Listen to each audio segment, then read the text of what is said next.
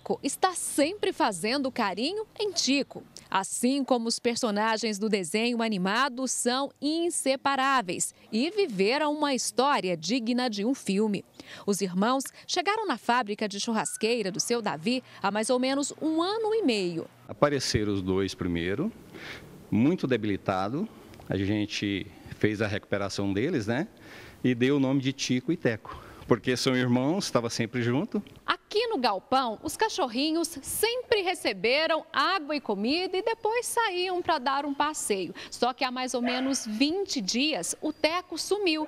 E daí, o seu Davi ficou muito preocupado. Até que um dia, o Tico chegou com essa colherinha e aí com esse bilhetinho dentro. Tinha uma seguinte mensagem aqui, ó, vou ler para vocês, é a mesma mensagem daquele dia. Olá, sou da clínica veterinária, estamos com seu outro cãozinho. Ele foi acidentado, por favor, entre em contato. E aí embaixo tinha o número do telefone. Aí o seu Davi ligou, pegou o endereço e foi imediatamente, seu Davi.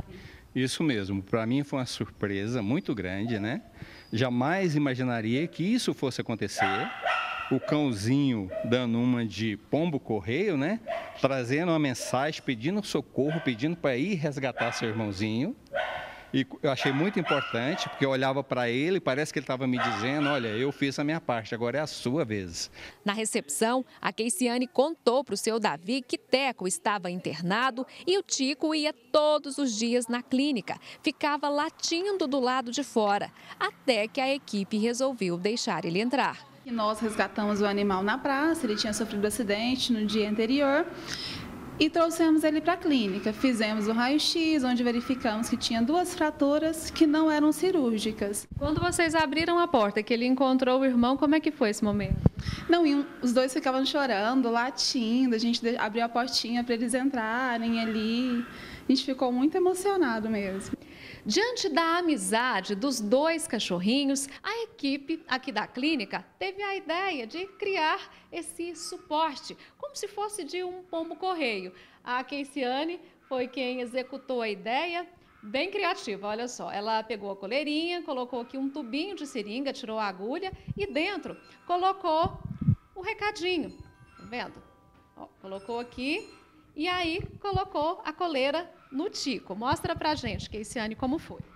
A gente colocou assim, como ficava um pouquinho apertado nele, a gente colocou só preso aqui na frente. Agora a ideia é muito interessante. De onde que veio essa inspiração? Na verdade, a equipe, né, uma parte da equipe decidiu colocar a coleirinha e como a gente não tinha um outro jeito de colocar, surgiu a ideia de colocar realmente a seringa e deu certo. Quem atendeu o Teco assim que ele foi atropelado e doou parte do tratamento foi o doutor Yuri. Não foi uma fratura tão feia, porém teve uma fratura realmente de pelve, né, no caso a bacia. Ele pode sim voltar a andar, né, é, fazer, dar os, as medicações corretas, dar os remedinhos certinho. Ele tem grande chance de voltar a andar sim. Veterinário também achou a história incrível e diz que, como os cães têm a audição muito apurada, pode ser que Tico escutou o irmão chorando na clínica e logo soube que ele estava lá dentro.